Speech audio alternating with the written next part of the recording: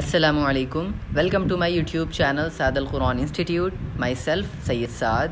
I hope you all are good. Alhamdulillah, I am also good. Today we will read Takhti number 4 Huruf Madda Waw Madda. This is the definition of Waw Madda written in Urdu but you have to memorize it in English. So let's start. First of all you have to read Tasmiyah.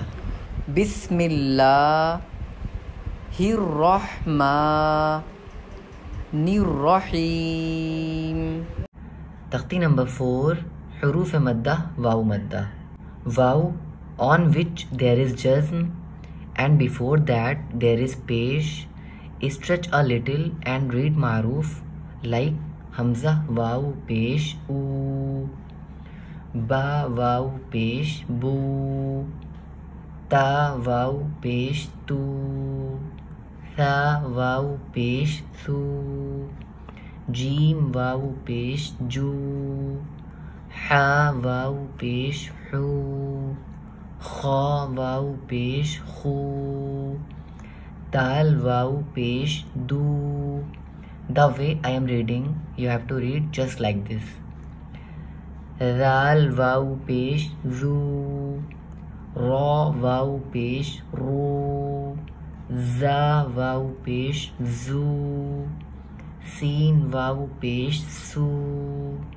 shin vau peixe, chu, sod vau peixe, su, lod vau peixe, lu, to vau peixe, tu, vó vago peixe, lu, ain vago ru.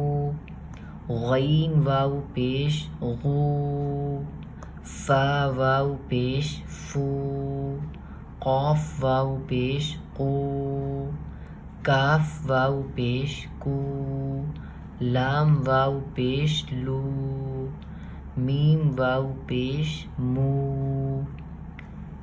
नून वाव पेश, नू, वाव वाव पेश, वू हा वाव पेश who, Hamza वाव पेश उ या वाव पेश यू।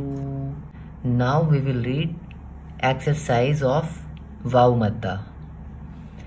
नूहु, नून वाव पेश नू, हा पेश हु, नूहु। Povau peštu, ro pešru, turu, tubu, nuru, qalu,